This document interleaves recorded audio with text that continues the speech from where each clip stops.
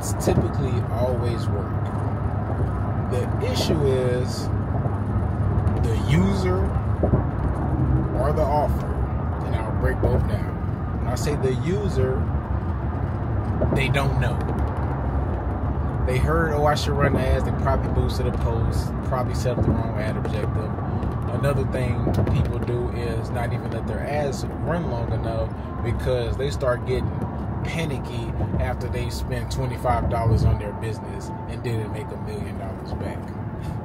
so, like, cut these ads off, they don't work. Second thing, I'm going to use a story uh, to kind of preface this, but we had a new subscriber to the, the fully booked membership, which was free. She was really like the first person to come through and get launched, and she did it in record time. She got launched in eight days. But the initial probably seven to ten days, she was running her ads at like five dollars per day and no bookings. And it surprised me. So I'm like, I'm like, you know, what's going on? This, this is abnormal. So you have to you have to jump in. You can't just be like, oh, ads don't work. I, have never had that mentality. I know for a fact ads work. Like that's what I do. So we're we're looking, and I'm like, hmm, maybe it's your offer. Your offer is not compelling enough. Maybe your price is too high. And she was like, well, I don't want to adjust my price. And I'm like, now keep in mind, you do have to assess the marketplace. So if I'm in Louisiana and the silk press is $90, but like, let's say I come from Houston and I'm trying to get my normal, like, I don't know, $200 for a silk press, that's not going to fly.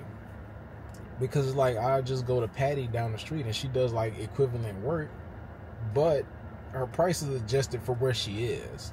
So you also have to adjust accordingly to the area. You can't just come up with a price out of your ass and like pay me for my work. So I did some research in her area and she was about like, you know, mid to higher end price wise. But the issue was not the price or the offer. The issue was that's why that's why I say with ads, you have two sides of ads. You have what happens on the platform. So that's like what people do on Facebook, on Instagram. Like are they clicking at a certain percentage? Uh, also, what's the cost per click? Like, meaning how much is it costing you to get someone off of Facebook onto your website? All of her metrics were good.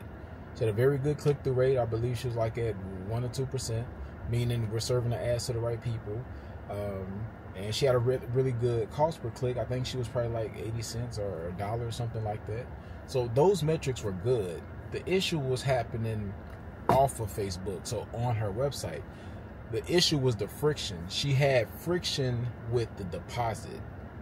And when I say friction, I mean it's something that's slowing up the, the flow of traffic.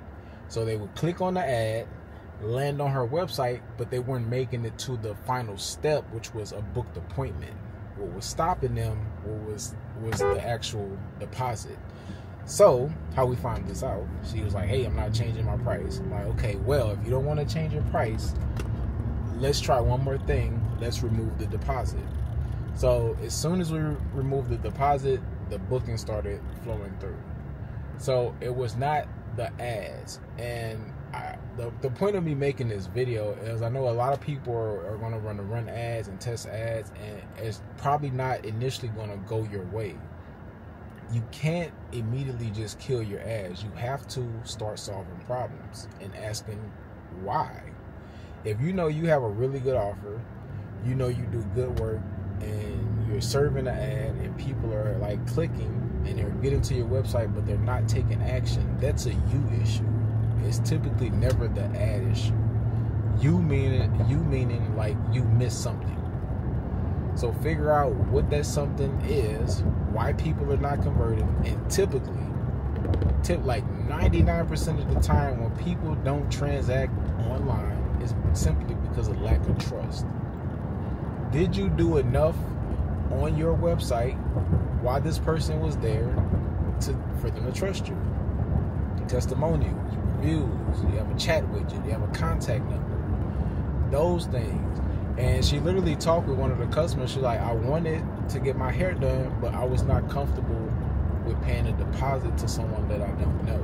Keep in mind your ads are always going to is considered cold traffic. These are people that don't know you. So the lady literally told her like I did not trust you. But she came in, got service, and it was all good.